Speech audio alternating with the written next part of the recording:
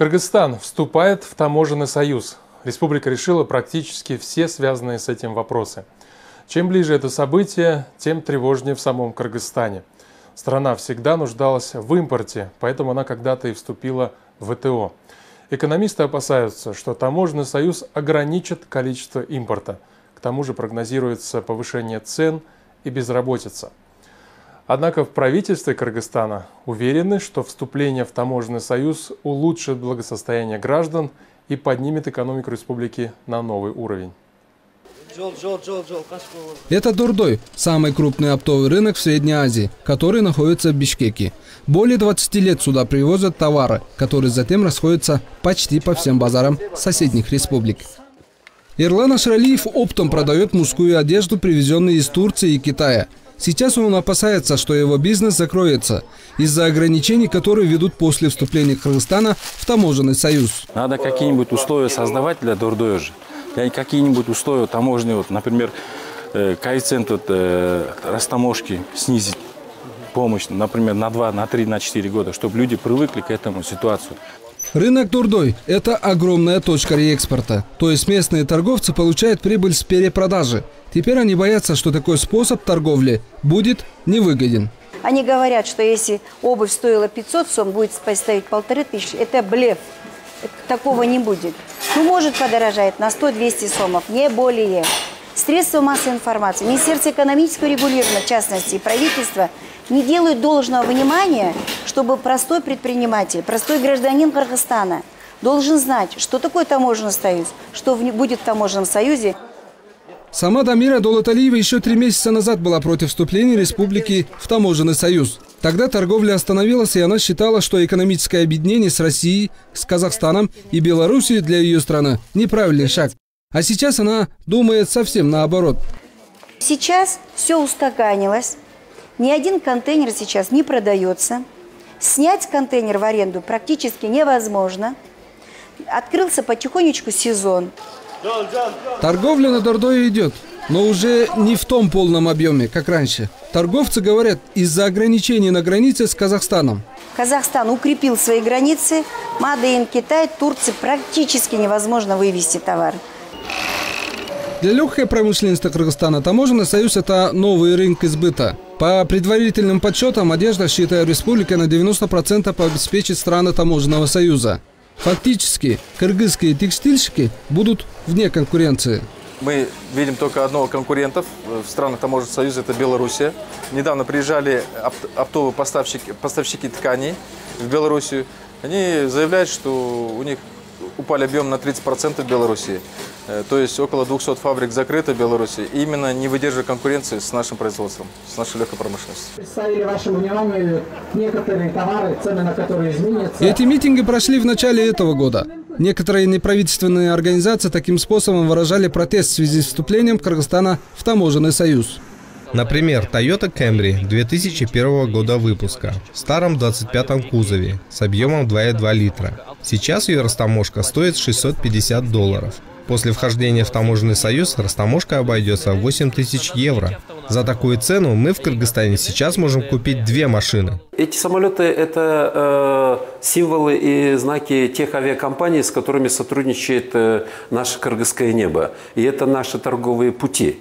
У Кыргызстана нет своего производства. Бюджет республики пополняется за счет реэкспорта. Поэтому в свое время страна вошла в состав Всемирной торговой организации поскольку данные нами обещания а, перед Всемирной торговой организацией, перед членами Всемирной торговой организации, они обязательно требуют нашу устанавливают нашу ответственность перед этими странами. И теперь, если мы будем менять правила игры в сторону ухудшения, а вхождение в таможенный союз, это значит, мы вместе с членами таможенного союза будем отгораживаться от остального мира. Если Кыргызстан войдет в таможенный союз, то должен провести переговоры по таможенным пошлинам со странами-партнерами по Всемирной торговой организации. Но как они пройдут, никто не знает. Наверное, нам надо будет э, опять э, переговариваться. Это очень дорогой и э, очень тяжелый процесс. Об этом правительство пока не объясняет, какими силами и как оно будет это делать. Население Кыргызстана обязательно проиграет, экономика Кыргызстана обязательно проиграет. Я не думаю, что у нас возникнут большие проблемы. У нас э, мы это все проблемы совместно с нашими партнерами по таможенному союзу будем решать. Если вспомнить слова Алмазбека Шершенча, что Кыргызстан хотел бы встретить Новый год 15, 15 года Новый год уже в составе таможенного союза, то времени остается немало. Это обсуждали и во время недавней встречи членов правительства Кыргызстана и Казахстана в городе Чолпаната. Там еще раз рассмотрели дорожную карту, которая была представлена в мае в Астане. По требованиям стран Таможенного союза Кыргызстан должен был выполнить 102 пункта из 181. Но республика пока не готова к этому. Все упирается в финансы. А эти затраты необходимы на приведение в соответствие нормам Таможенного союза таможенных постов. Это касается оборудования, то, которое имеется. В целом укрепления границ. Есть нормы, которые требуют а, наличия определенных лабораторий. По данному финансовому вопросу Казахстан еще не дал точного ответа. Для начала республика рассмотрит это на уровне правительства. Мы просим поддержку и помощь со, со стороны Российской Федерации. Мы эту помощь уже договорились и подписали соответствующее согла соглашение. Будет создан фонд поддержки развития, Кыргызско-российский фонд, который будет оказывать поддержку именно э, в рамках адаптации нашей экономики к э, требованиям таможенного союза.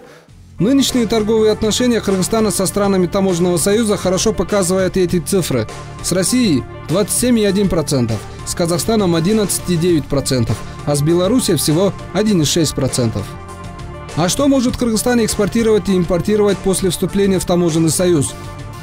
В Россию овощи и фрукты, хлопок, стекло, электромашины, лампочки и радиаторы. Из России ГСМ, черный и цветной металл, изделия ценного металла, химикаты. Казахстан электроэнергия, молочная продукция, овощи и фрукты, скот, одежда и стекло. Из Казахстана неорганическая и химическая продукция, зерновые, уголь и минеральное сырье, пшеничная мука, табачные изделия, сахар и кондитерские изделия. В Беларуси только радиаторы. Из Белоруссии сахар, изделия из резины, транспорт и запчасти к ним – если вот этот свитер мы посчитали, сейчас в данное время стоит 300 сом с Турции, который привезли. 300 сом.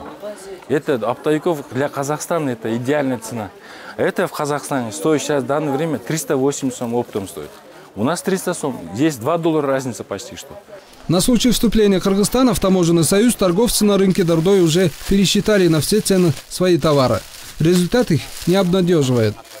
Если раз на таможенный союз, мы посчитали то, то, что нам правительство сейчас сказал, цены, которые будут после таможенного союза, вот эта цена будет 420-440 сом будет такая цена. Мы посчитали. И в Казахстане вот такая цена будет 420-440 сом будет. Теперь по сами подумайте, казахи что, не, ум, не умные, мы умные, да? Они сюда будут 300-400 километров сюда приезжать за этим ценой, что ли? Когда у них на носу это свой, такая же цена. До сих пор точно не ясно, какая политическая и экономическая ситуация сложится в Кыргызстане после вступления в таможенный союз. И сами эксперты, и даже торговцы с Дордою строят одни лишь предположения –